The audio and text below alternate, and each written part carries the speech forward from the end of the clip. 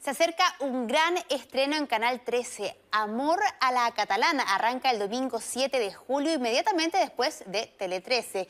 Dos de sus protagonistas dieron más detalles de la nueva teleserie. María Jesús Muñoz nos cuenta.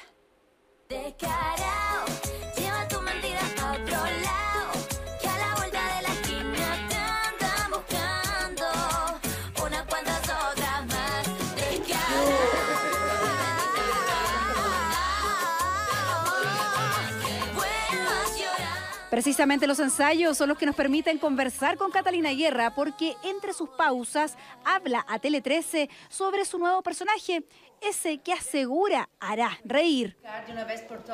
Yo soy la mujer legal de Fernando y me voy a encontrar con la feroz noticia que este hombre ha tenido una mujer, una segunda mujer, durante 30 años con la cual tuvo dos hijas.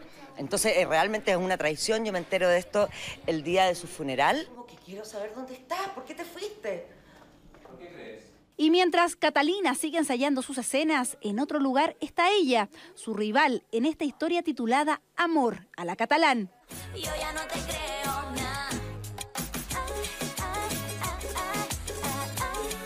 Tamara Costa estudia una y otra vez su guion, ese que la convierte en una mujer bastante especial. Está un poco enojada con el marido, con el ex marido, el innombrable, porque le dejó la panadería, pero le dejó a la ex mujer también. Entonces eh, tiene que lidiar con esta señora que es una bruja. Yo me pongo a trabajar por primera vez en la vida, cosa que soy absolutamente inepta, y la otra no me quiere en su lugar de trabajo, dividimos la oficina y ahí se van a, presentar una serie de, de peleas y encuentros que son muy cómicos.